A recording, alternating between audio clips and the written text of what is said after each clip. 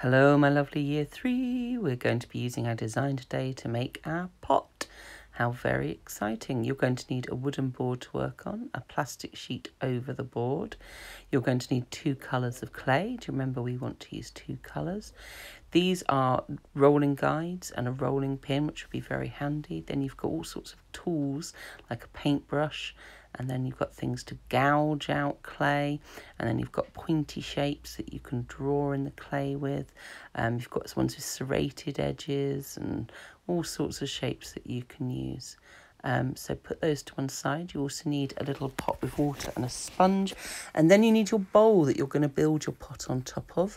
And you need to line it with some cling film in the inside if you're going to build your pot on the inside or on the outside if you're going to do that. Different people do it differently and I'll show you how in a bit. But first, we're going to be making a sunflower. This is what I'm doing. You're going to be making things other than sunflowers. I'm going to show you three ways to make petals. So first of all, you can use those rolling guides with your rolling pin. It makes sure that the clay isn't too thin. And then you use one of the cutting tools to make petal shapes, which you cut out individually, one at a time, like that. Lovely. You can use, pick up the mat to uh, peel them off if they don't come off straight away. That's the point of having the plastic.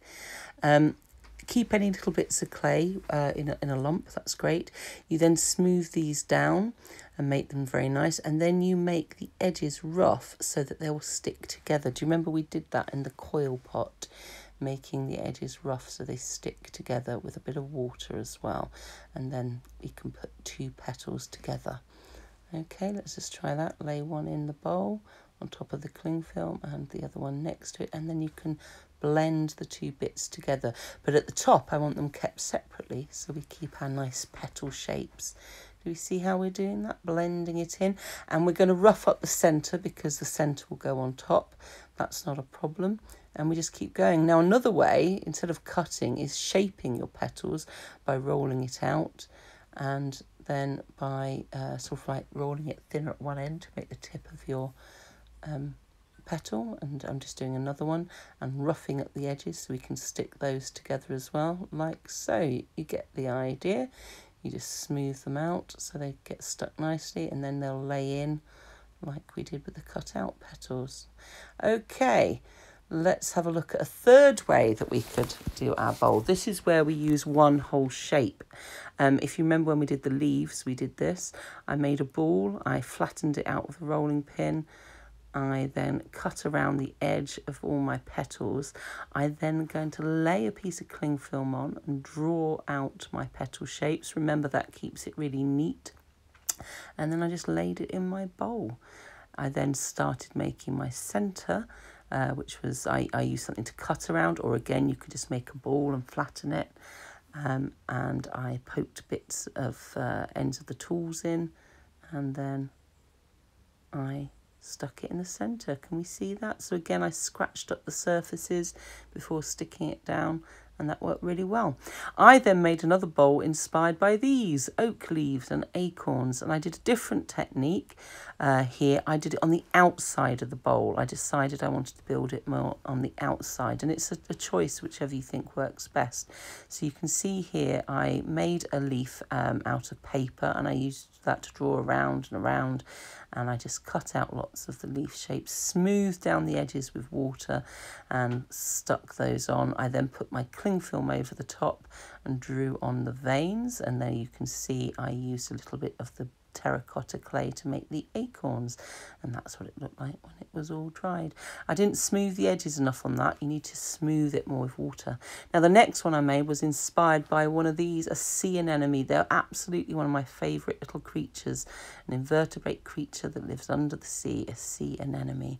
And so I made this using the technique um, that I suggested for the sunflower as well, where I rolled out little spiky shapes for the tentacles and I just made a big pile of those and when I had plenty I just started laying them inside my bowl and smooshing them together at the bottom Lots of nice wet clay, smooshing it all together. Can you see how I'm blending it all together? Because I was going to put lots more under there so it didn't matter. I didn't have to keep the shapes. Just slow that down so you can see a bit more clearly. Do you see how I'm smooshing it and blending it? I'm really bringing the clay together so it's going to stay strong. If you're building something like this with lots of gaps, you've got to make sure that the clay is thick enough. And there we go. I'm adding some little details in the dark brown. Yeah make sure the clay is thick enough and it's really well joined. And there's my finished sea anemone. Hot Okay, there we go. And the last one I'm going to show you is this ammonite, which is a type of fossil. If you remember, we looked at fossils earlier on in the year, so I decided to make you a fossil-themed bowl. And for this, we use a similar way of doing things as we did for the coil pots. We um, rolled out long sausages for that, and I did the same for this. I just rolled out sausages.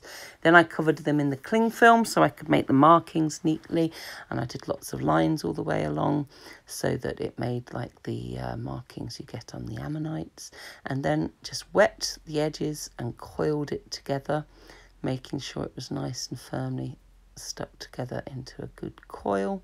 And you can see I made lots of these and then I started sticking them on. I'm just putting the last one on for you.